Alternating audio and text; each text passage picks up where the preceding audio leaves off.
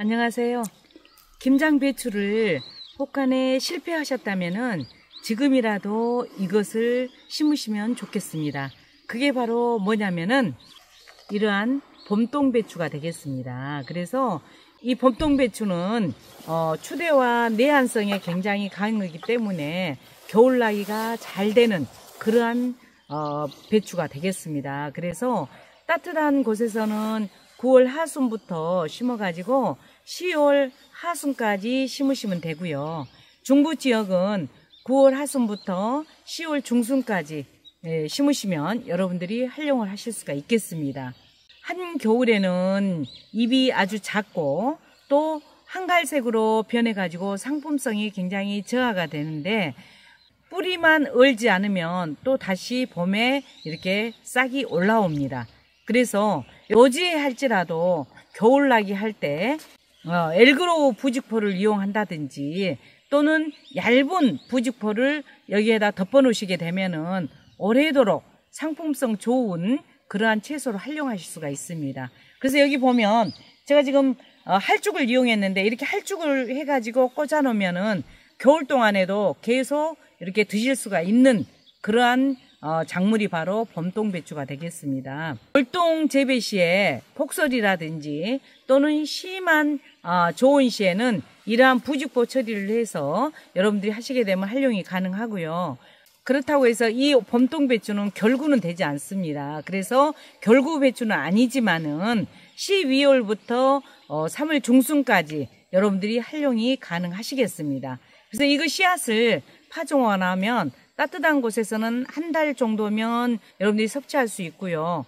또 좀 추운 곳에서는 한 달 반 정도만 이렇게 되면은 이용이 가능한 그러한 채소로 어, 이게 봄동이 되겠습니다. 그래서 여러분들께서 어, 너무 폭염에 몇 차례 지금 어, 배추를 심었어도 실패하신 분들께서는 어, 굉장히 난감하시는데 이렇게 텃밭 여유가 있으시다면은 어, 텃밭 공간에다가 테이프나 복합비료 또 살충제 조금 처리해서 이렇게 만들어 가지고 한쪽 어, 귀퉁이에다가 봄동배추를 심으셔 가지고 활용하시면 좋겠습니다.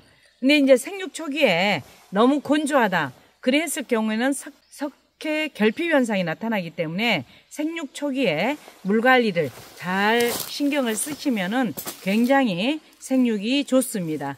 그럼 지금부터 어, 여러분들께 씨앗을 파종해 보여드리겠는데요.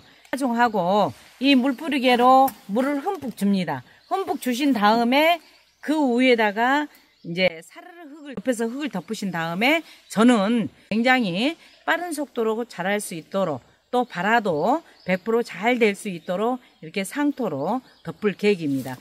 이거이 바로 범동 씨앗입니다. 그래서 굉장히 예, 작잖아요. 그래서 이거를 자 보세요. 이 지금 이미 저는 지금 밭을 준비해 놨는데 여기 지금 양파 유공빈이래서 이 구멍마다 해버리면 너무 가깝기 때문에 한 칸 띄고 이렇게 뒤로는 바로 저기 하는데 옆 줄로는 한 칸 띄고 지금 어, 파종을 할 겁니다. 그래서 이거를 이렇게 위에다 놓습니다. 너무 작기 때문에 위에다 이렇게 좀 뿌리고요. 자 보세요. 이렇게 매달씩 여기다 이렇게 뿌려요.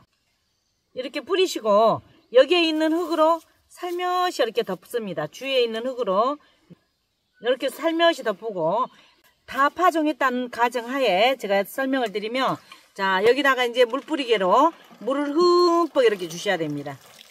이렇게 물을 흠뻑 주셨죠. 주시고 난 다음에 여기에다 이제 처리하는 것이 뭐냐면은 바로 원예용 상토 이것을 위에다 살며시 이렇게 얹어주면 씨앗이 굉장히 발화도 잘 되고 또 초기 성장이 잘 돼서 어, 봄동을 맛있게 이렇게 싱싱한 봄동을 여러분들이 드실 수가 있겠습니다.